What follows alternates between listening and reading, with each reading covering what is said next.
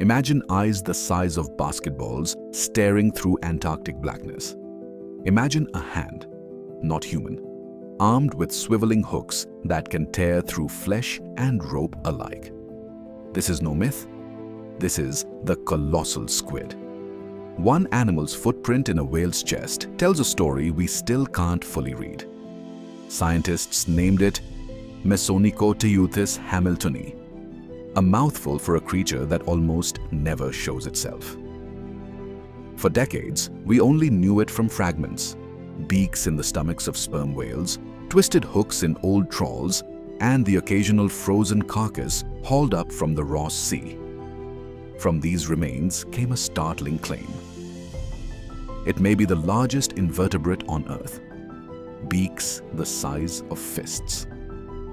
Tentacle clubs with rotating barbs, heavy muscle and a mantle built to withstand crushing cold and crushing pressure. Each fragment is a clue, but together they form a shadow, not a portrait. How big? Estimates once ranged wildly. The truth is stranger and heavier than most imagined. Beneath the ice, the colossal squid becomes something else, a grappler. Its feeding clubs end in hooks that can swivel and lock. Imagine a living harpoon that can twist as it bites. Those hooks aren't decorative. They anchor, they shred. A struggling fish or a rival predator becomes entangled. And when the stakes rise, there is one enemy that regularly leaves traces on a colossal squid's remains. The sperm whale. Sperm whale battles. Literal scars on giants. The ocean keeps a ledger. This is where people ask, colossal squid versus giant squid, which is the monster? The giant squid, Architeuthis, is long, a streamer of limbs. The colossal squid is compact, heavy, armored with hooks. Both are titans. Both haunt the deep. But they fight differently. When a nearly complete specimen was recovered in the early 2000s, scientists discovered something extraordinary eyes among the largest on the planet. Not simply big, enormous, perfect for harvesting every photon in near total darkness. And heavy. The heaviest estimates for the colossal squid put its mass beyond most other invertebrates. In a place where food is scarce and light rarer still, the colossal squid is a mobile feast and a hunter. It is a mid-level giant in the food web, both predator and prey.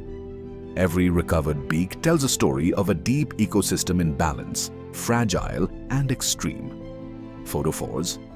Evidence hints at light-producing organs.